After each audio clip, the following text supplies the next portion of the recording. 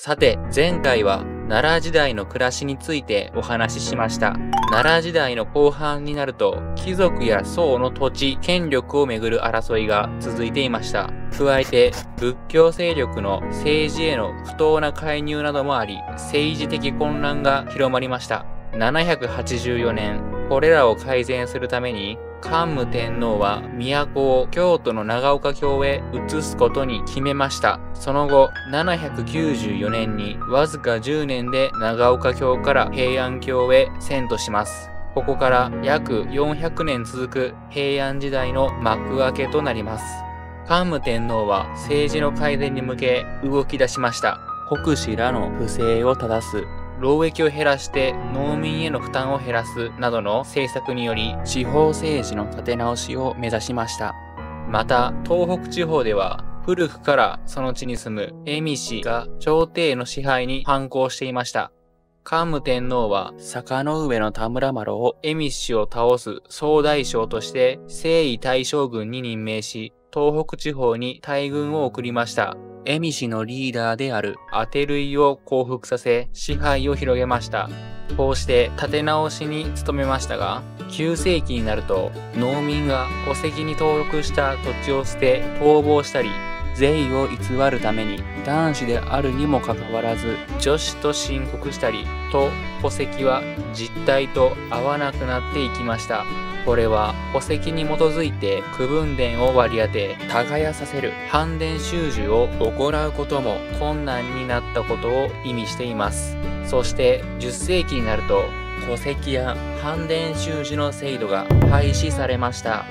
有力な農民に土地を割り当て納税させることにしました。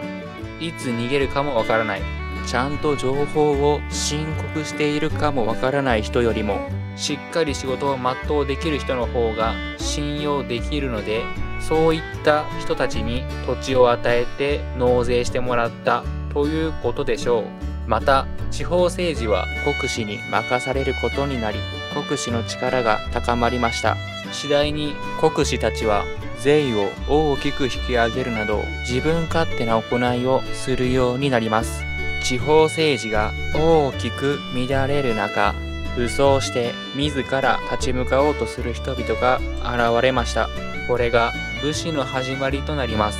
日本がバタバタしている頃、近隣諸国では大きく変化が起こっていました。中国で大帝国を築いた唐は10世紀初めに滅亡しました。これを予見していた菅原道真は894年に遣唐使を廃止させています。唐の滅亡後、宋が中国を統一し、日本との交流も進みました。朝鮮半島では10世紀初めに高麗という国が起こり、朝鮮半島を統一していた新羅を滅ぼしました。